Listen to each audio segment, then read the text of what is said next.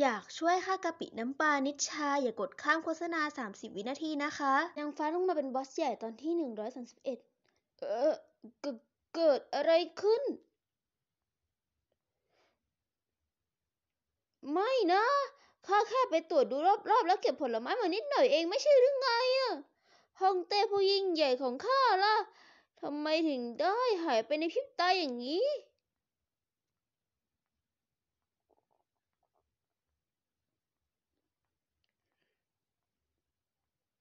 เฟิงเซียว เจ้าไม่เป็นไรใช่ไหม รู้สึกไม่สบายตรงไหนหรือเปล่า ไม่ต้องห่วงข้าไม่เป็นไร แค่แค่ไม่คิดว่าบนโลกนี้จะมีวงเวทส่งผ่าน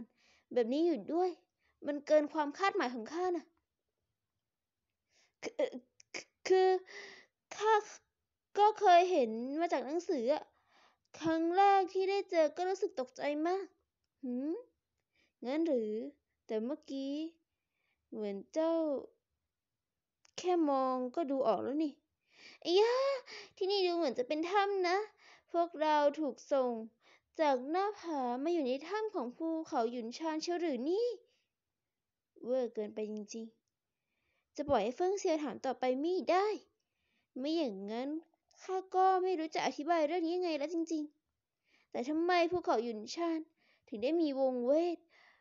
ส่งผ่านแบบนี้อยู่ด้วย หัวข้อนี้เริ่มไม่เป็นธรรมชาติละ ช่างเถอะ พวกเรามาหาทางออกกันเถอะ จะออกไปน่ะ มันไม่ง่ายดูท่าอะเดี๋ยวนะนั่นคือย่าวิญญาณหยุนชาน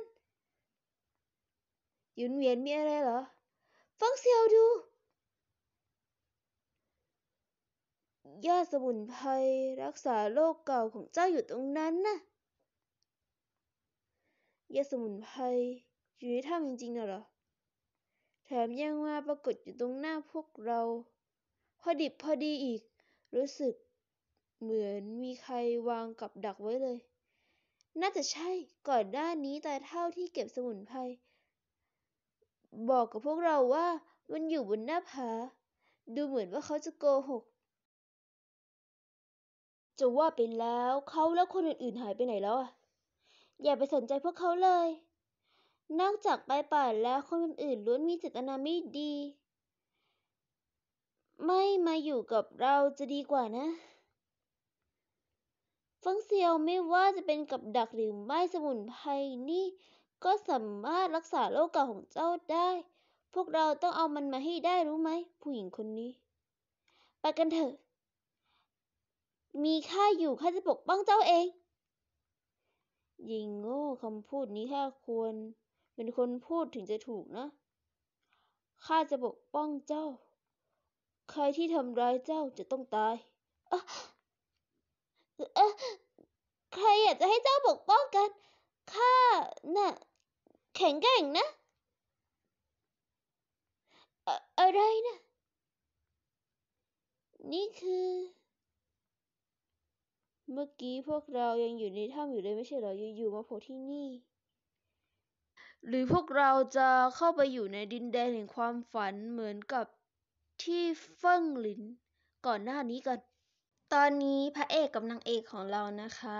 ได้หลงถ้ำเป็นที่เรียบร้อยแล้วนะคะ จาก ยันเคลื่อนย้ายอะไรสักอย่างนะคะ ที่เคลื่อนย้ายจาก